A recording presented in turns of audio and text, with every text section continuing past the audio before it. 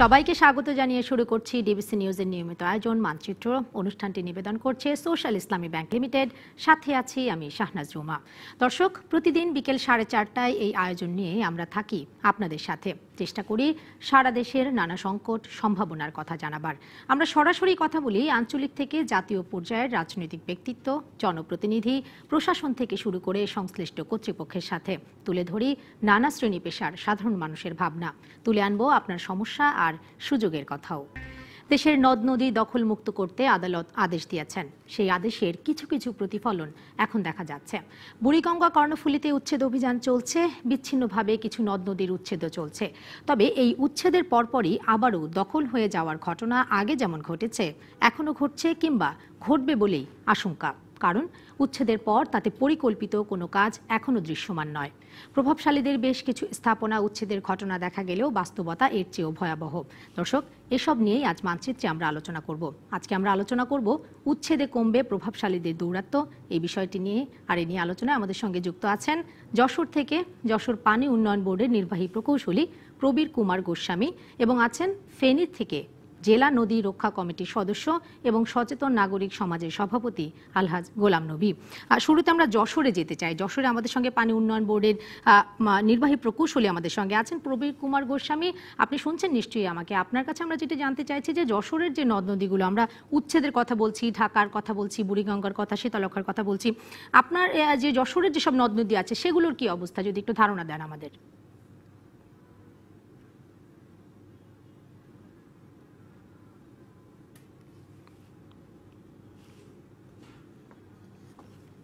জি ধন্যবাদ আপনাকে। আমাদের যশোরের প্রধান যে নদীগুলো আছে, কপোতাক্ষ নদ, ভৈরব নদী এবং মুক্তেশ্বরী নদী আছে। তো আমাদের এখন ভৈরব নদী আমাদের খনন প্রোগ্রাম চলমান আছে। আমাদের এই ভৈরব নদীটি যশোর অঞ্চলে প্রায় ছিয়ানব্বই কিলোমিটার পড়েছে। এই ছিয়ানব্বই কিলোমিটার জুড়ে আমাদের খনন কাজ হবে। এটা মাননীয় প্রধানমন্ত্রী প্রতিষ্ঠিত প্রকল্প। তো এই খনন কাজ চালাতে থেকে আমরা যেটা লক্ষ্য করছি, বিশেষ করে যশোর শহর অঞ্চলে বেশ কিছু অবৈধ স্থাপনা রয়েছে নদীর দুই ধারে। তো আমরা যেটা করেছি, আমাদের স্থানীয় জেলা প্রশাসনের সঙ্গে যোগাযোগ করে তাদের সঙ্গে যৌথভাবে আমরা নদীর সিএস খাস অবস্থান অনুযায়ী সীমানা নির্ধারণ করেছি।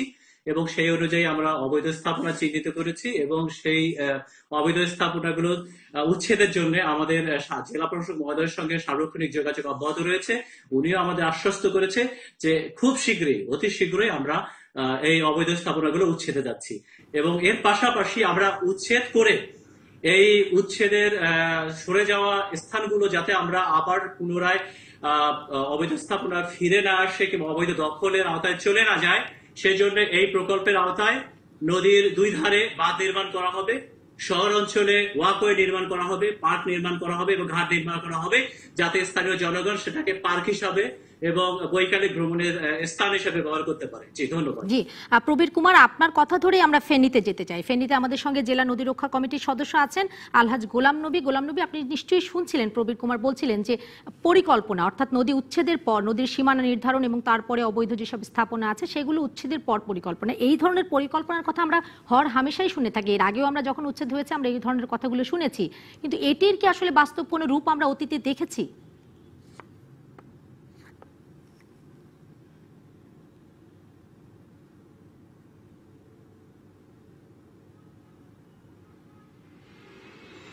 এই ধরনের বাস্তব আমরা অতীতে দেখতে পাই না এখনও বলতেছে কিন্তু মুহুরি ফরগেটে যে আমাদের নদী কমিটি যে মিটিং হয়, ওরা অনেক সময় মিটিং এ থাকে না। যে আমাদের নদীগুলা পরিষ্কার করা মানে অবৈধ উচ্ছেদ করার জন্য এবং মহিলা দূষিত ফেরি আমাদের নদীগুলো দূষিত হয়ে গেছে। ফেরিতে, বিশেষ করে ফেরি নদী, মুহুরি নদী এবং সিলিনা নদী, এককালে সিলিয়া নদী হইয়া নোয়াখালী চুম্মানিতে মালামাল পরিবহন হইতো। ওই সময় কিন্তু কোনো যানবাহন ছিল না। আবার এই নদী পথ দিয়ে মানে মালামালগুলো পরিচালিত হইতো। কিন্তু এই নদীটা সিলুনিয়া খালটা এখন কিন্তু বরাট হয়ে গেছে, অবৈধ দখলে চলে গেছে। কিন্তু মুড়ি পথে কোনো কার্যকর ব্যবস্থা নিতেছে না। আর ফেনী নদীও বিভিন্ন জায়গাতে অবৈধ দখল হয়ে গেছে আর আমাদের যে সিলুনিয়া মুড়ি মুড়ি নদীটা অবৈধভাবে দখল করেছে আর ভারতের ফাঁসি দিয়ে একটা নদী শিখছে, যার নাম মুড়ি কহুয়ার নদী। এই কহুয়ার নদী বাদ- বাদিয়া এখানে সব সময় যে অন্য বন্যার সময় যে এখানে বাট্টা ভাঙ্গিয়া আমাদের এলাকা ফুলগাজী হসুরামে কৃষকদের ফসলাদি এবং মাছ, ওগুলো সবগুলো ধ্বংস হয়ে যায় এবং তারা নিশ্চয় হয়ে যায়। মানে তারা আমার সব কিলো মানে খুঁজি হয়ে যায়। কিন্তু মুড়ি পজিটিভকে বারবার আমি মিটিংয়ে বলি যে পৌয়া মুড়ি পজিটিভ ওই নদীটা যাহাতে বাঘটা বাঁচার জন্য কিন্তু তারা কোনো কর্ণপাত করে না। তারা কোনো কর্ণপাত করে না। তারা তাদের তাদের নিয়ে ব্যবস্থাটা আছে। আর দেখেন নদীগুলো দূষণ হয়ে গেছে কই। কোনো পরিষ্কার বলতে কিচ্ছু নাই। দখল হয়ে গেছে দূষণ হয়ে গেছে কই। আমাদের কহুয়া নদী এবং আমাদের ভারতের এই ফাঁসি দিয়ে নদীটা, কিন্তু এটা নিয়ে আবার সব সময় কিন্তু পানি চলাচল আর দূষণ হয়ে কিছু বাদ ভাঙিয়ে কৃষকদের ক্ষতি করতেছে। আর দ্বিতীয় কথা হলো যে আমাদের যে খাল, খালগুলা, নদী, নালা এগুলো কিন্তু তারা পরিষ্কার করে না।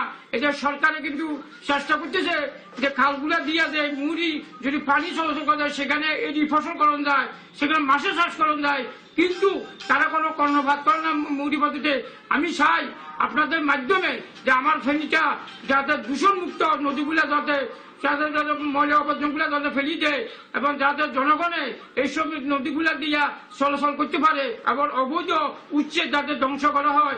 এটা এটার জন্য আমি বিশেষ করে অনুরোধ করতেছি। আজকে দেখা যাচ্ছে যে আপনার নদী দিয়া মানুষ চলাচল করতে এককালে কিন্তু জি জি আমাদের সঙ্গে আছেন গোলাম নবী। আপনাকে থামাচ্ছি আমরা আপনার কাছে আমরা আরও শুনব এই বিষয়ে যে আপনি যে অভিযোগগুলো করলেন যেটা আমরাও জানতে চাইছি যে অতীতে কখন আমরা এই চিত্র দেখিনি। প্রবীর কুমার আপনি তো শুনছিলেন এই যে আলোচনা তিনি তিনি বলছিলেন গোলাম নবী যে আসলে তার জায়গায় যেসব জায়গাগুলো উচ্ছেদ করা হয়েছে দখলমুক্ত করা হয়েছে সেগুলোতে নতুন করে বাঁধ রক্ষা থেকে শুরু করে বা যেসব পরিকল্পনা আপনিও বলছিলেন এরকম পরিকল্পনা আমরা সবসময় শুনি। কিন্তু প্রভাবশালীদের যে দৌরাত্ম আমরা বলি যাদের দৌরাত্ম থেকে বাঁচার জন্যই আসলে নদীগুলোকে রক্ষা করা হয়, এবার তারাই সেই রক্ষা করার পরে বা অবৈধভাবে উচ্ছেদ হওয়ার পরে সেখানে আবার তারা তাদের অবস্থান, তারা সেখানে তাদের গেড়ে বসেন। সেটি আসলে কেন আমরা নিশ্চিত করতে পারি না? মানে এই পরিকল্পনাগুলো যেটি আপনি বলছিলেন, এগুলো কেন আমরা অতীতে অতীতে এবং বর্তমানে আমরা কেবল পরিকল্পনার মধ্যেই কেন সীমাবদ্ধ দেখছি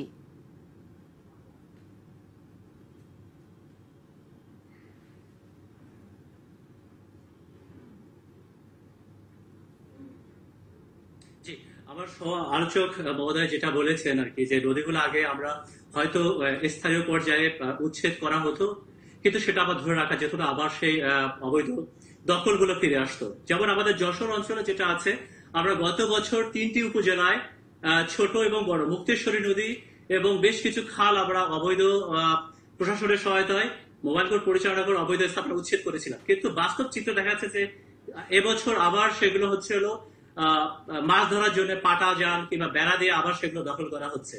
তো এই সমস্ত যে অব্যবস্থাপনা কিংবা দখলের যে হচ্ছে হলো টেন্ডেন্সি এগুলোকে প্রতিহত করার জন্য আমাদের ইতিমধ্যে, আপনি আপনারা জানেন যে আমাদের মাননীয় প্রধানমন্ত্রী আমাদের বাংলাদেশের বদ্বীপ, বঙ্গীয় বদ্বীপ রক্ষার জন্য একশো বছরের প্ল্যান যেটা আর কি ডেল্টা প্ল্যান দু হাজার একুশশো যেটা অনুমোদন করেছে, এই প্ল্যানের আওতায় ইতিমধ্যে আমাদের পানি সম্পদ মন্ত্রণালয়ের আওতায় চৌষট্টিটি জেলার নদী এবং খাল এবং জলাশয় খননের একটি প্রকল্প অনুমোদিত হয়েছে এবং এই প্রকল্পের কার্যক্রম ইতিমধ্যে চৌষট্টিটি জেলায় শুরু হয়েছে।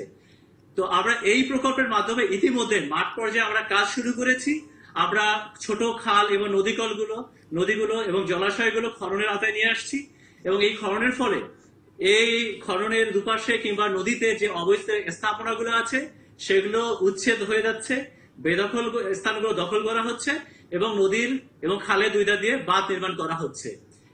আমাদের নদী সম্পদ কিংবা পানি সম্পদ সংরক্ষণের বাংলাদেশ পানি উন্নয়ন বোর্ড কিংবা পানি সম্পদ মন্ত্রণালয়ের এই দীর্ঘমেয়াদী দীর্ঘমেয়াদী পরিকল্পনার আওতায় বঙ্গীয় বদ্বীপ প্রকল্প আপনার আপনার ডেল্টা প্ল্যান একুশের আওতায় ইতিমধ্যে এর সেকেন্ড ফেজ প্রস্তুতকরণের কার্যক্রম শুরু হয়েছে। এই সেকেন্ড ফেজের আওতায় পুনরায় চৌষট্টিটি জেলার যত ছোট নদী, মাঝারি নদী, খাল, জলাশয়, বিল রয়েছে এবং এগুলোতে যে দখল রয়েছে, দখল উচ্ছেদ করা হবে এবং সেই জায়গাগুলোতে নদী খননের পর বাঁধ নির্মাণ করে, ঘাট নির্মাণ করে এবং পার্ক নির্মাণ করে সেগুলোকে দখল বেদখল করে সেগুলো সুষ্ঠু ব্যবস্থা জি প্রবীর কুমার আমরা বুঝতে পেরেছি। এটি আপনি এর আগেও বলছিলেন যে আসলে দখল তাদের কাছ থেকে মুক্ত করার পরে নতুন করে আবার নানান রকম পরিকল্পনা আছে। সেটি বাস্তবায়নের ক্ষেত্রে আসলে বাধাটা আমাদের কোন জায়গায়? আদালতের নির্দেশ থাকার পরেও আসলে তিন বছর পরে আমাদের বাস্তবায়ন করতে হলো সরকারকে কঠোর অবস্থানে গিয়ে। নতুন করে যে দখলমুক্ত যে জায়গাগুলো করা হবে সেটি বাস্তবায়ন আসলে সরকারের জন্য কিংবা আপনারা যারা স্থানীয়ভাবে কাজ করছেন তাদের জন্য কতটা চ্যালেঞ্জের হবে? সেটি শুনব আপনাদের কাছ থেকে একটা বিরতি নিয়ে, তারপরে নিশ্চয়ই থাকবেন আমাদের সঙ্গেই। দর্শক, আপনারাও থাকবেন আমাদের সঙ্গে, একটা বিরতি নিচ্ছি, ফিরছি একটু পরে।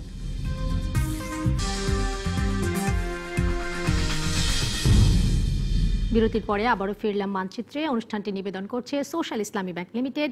আজকে আমরা কথা বলছি, উচ্ছেদে কমবে প্রভাবশালীদের দৌরাত্ম্য। সঙ্গে আছেন যশোর পানি উন্নয়ন বোর্ডের নির্বাহী প্রকৌশলী প্রবীর কুমার গোস্বামী এবং আছেন ফেনী জেলা নদী রক্ষা কমিটির সদস্য এবং সচেতন নাগরিক সমাজের সভাপতি আলহাজ গোলাম নবী।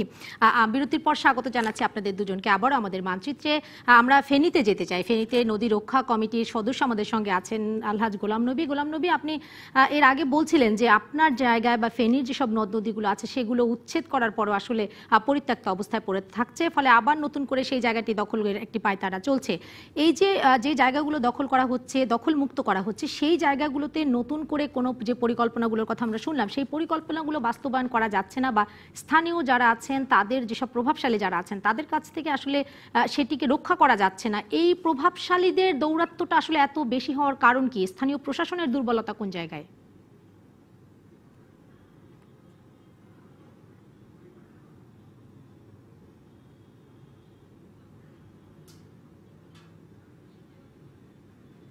স্থানীয় প্রশাসনের দুর্বলতা এখানে আপনার দুর্বলতা বেশি আছে এখানে, কেননা রাজনৈতিকভাবে কিছু প্রভাব পড়ে। আর এই জন্য স্থানীয় প্রশাসন এমন কিছু করেন যায় না দ্বিতীয় কথা হচ্ছে আপনার যারা মুড়ি প্রজেক্টে প্রকল্প, যারা মুড়ি প্রজেক্টের দায়িত্ব, ওনাদের মেন দায়িত্বটা ওনারা পালন করতেছে না।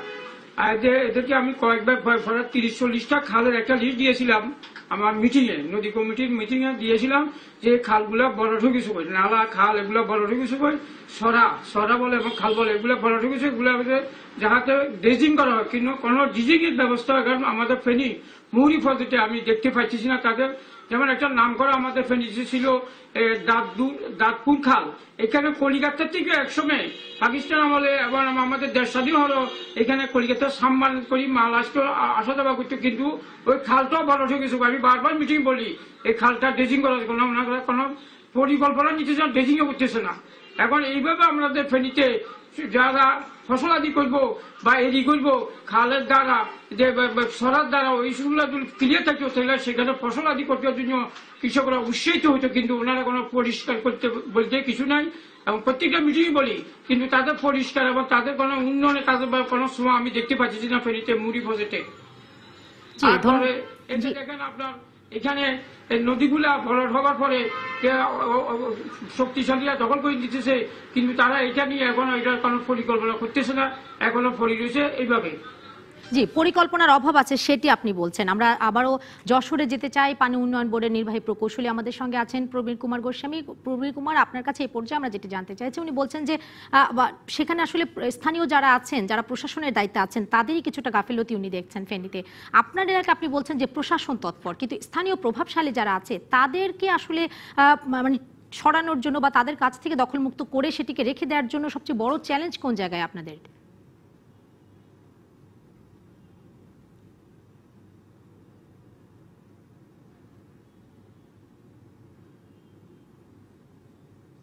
ধন্যবাদ। আম- আমরা আসলে আহ, ভৈরব আহ, নদীর অবৈধ স্থাপনার উচ্ছেদ নিয়ে আমরা কাজ করছি গত এক বছর থেকে। এই কাজ করতে যে আমরা তালিকা প্রণয়ন সীমানা নির্ধারণ কিংবা উচ্ছেদের বিষয়ে আহ, প্রভাবশালীর কোনো প্রভাব এই ধরনের আমরা পরিলক্ষিত এখানে হয়নি। মানে সত্য কথা বলতে এখানে রাজনৈতিক কোনো প্রভাব আমাদের উপর নেই। এবং প্রশাসন আন্তরিক আছে। এবং আমি আগেই বলেছি যে জেলা প্রশাসক মহোদয়ের সঙ্গে আমার গত মঙ্গলবার কথা হয়েছে আমরা বসেছিলাম এবং উনি ইতিমধ্যে উচ্ছেদের জন্য ম্যাজিস্ট্রেটও নিয়োগ করেছে। আমরা এখন শুধু আনুষ্ঠানিকভাবে বসে আমরা দিনক্ষণ ঠিক করে এবং আমাদের আইন শৃঙ্খলা বাহিনীর যে যেটা প্রয়োজনীয়তা লাগবে কিংবা আমাদের উচ্ছেদের যে সামগ্রীগুলো যে ইকুইপমেন্টগুলো লাগবে সেগুলো আমরা ডিপ্লয় করব। তো আমাদের আমরা বাস্তবে কাজ করতে যে আমি যেটা বলতে চাচ্ছি যে আমরা প্রশাসন কিংবা স্থানীয় স্থানীয় মহলের সেই চাপটা মানে অবৈধ চাপ কিংবা উচ্ছেদ করা যাবে এই ধরনের কোনো চাপ এর মুখোমুখি হয়নি। আমাদের আমাদের কাছে যেটা মনে হয় যে আমরা যারা মাঠ পর্যায়ে আছি যারা, আমরা যারা বিভিন্ন দপ্তরের কিংবা হচ্ছে প্রশাসনের দায়িত্বে আছি, তারা যদি আমরা আন্তরিকভাবে কাজ করি আমরা এবং ইতিমধ্যে উচ্ছেদের বিষয়ে মহামান্য আদালতের যে রায় রয়েছে, সেই রায়ের প্রতি সম্মান জানিয়ে আমরা যদি স্ব স্ব অবস্থান থেকে কাজ করে যাই, আমার কাছে মনে হয় যে স্থানীয় কোনো চাপ কিংবা কোনো ধরনের দৌরত্ব কিংবা কোনো এগুলো হচ্ছে হলো বাধা হয়ে দাঁড়াবে না। কারণ আমাদের মহামান্য হাইকোর্টের দুটি নির্দেশনা আছে। একটা হচ্ছে হলো সিএস খতিয়ান কিংবা সিএস খাস ধরে আমাদের নদীর সীমানা নির্ধারণ করতে হবে এবং সম্প্রতি যে রায়টা দিয়েছে যে আমাদের নদী এবং খালগুলোতে যে অবৈধ স্থাপনাগুলো আছে, সেগুলো দ্রুত উচ্ছেদ করতে হবে। জি, ধন্যবাদ। জি, ছোট্ট করে একটু বিষয় জানতে চাই। প্রবীর কুমার, আপনার কাছে নদী রক্ষা কমিটিকে, কমিশনকে এখন দায়িত্ব দেওয়া হয়েছে নদী রক্ষার জন্য এবং সীমান্ত চিহ্নিতের জন্য। নদী রক্ষা কমিশন, তারা বলছে যে তাদের জনবলের দুর্বলতা আছে এবং তাদেরকে আসলে ক্ষমতা যেটি দেওয়া হয়েছে, সেই ক্ষমতা তারা বাড়িয়ে চাচ্ছেন। সেটি কি আসলে কোনো সমাধানে আসবে কিনা